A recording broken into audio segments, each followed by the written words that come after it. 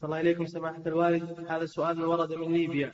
يقول عندنا اعتقاد سائد أن المرأة إذا أكلت لحم الإبل في بداية حملها فإنها لا تضع الحمل حتى تأكل منه مرة أخرى.